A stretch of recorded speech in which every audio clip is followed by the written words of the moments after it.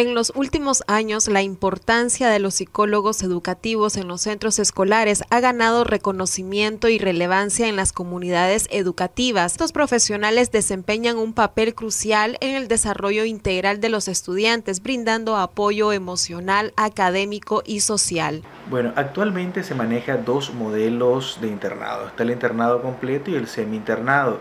El internado completo es con dormida adentro que ya hay muy pocos colegios, pero lo hay, y el semi-internado, que es desde tal hora de la mañana hasta alta hora de la tarde.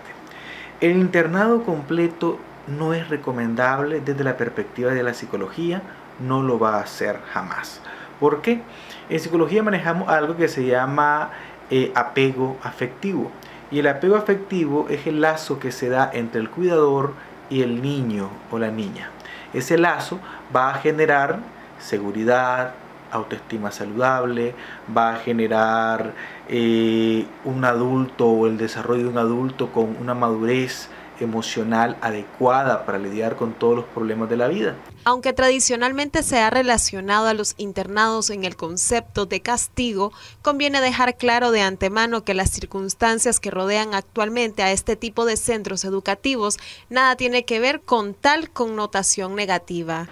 Cuando este lazo no es eh, saludable, hay dos formas de apego no adecuado. Uno es el apego ansioso. El niño aprende a llenarse de ansiedad cuando va a perder a alguien, cuando siente que la persona lo deja de querer y comienza a llorar, a sofocarse, a ser malcriado, el adolescente comienza a ser rebelde, busca la droga, busca las malas compañías, busca tener reacciones o comportamientos no saludables. O tenemos el apego evitativo. ¿Qué es el apego evitativo? El niño evita todo contacto amoroso, todo contacto afectivo con el adulto.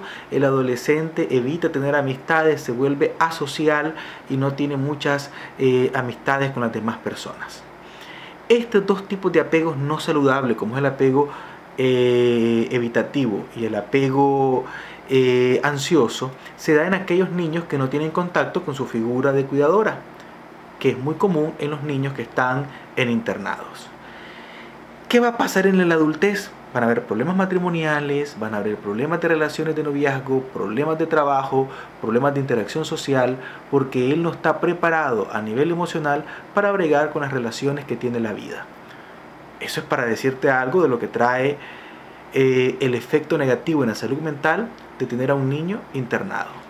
Aparte que tenemos baja autoestima, lógicamente, porque él se siente abandonado, hay problemas de depresión porque se siente no querido, hay problemas de angustia porque se siente que la familia no lo quiere y ese rechazo permanente que siente él porque no está donde debería estar.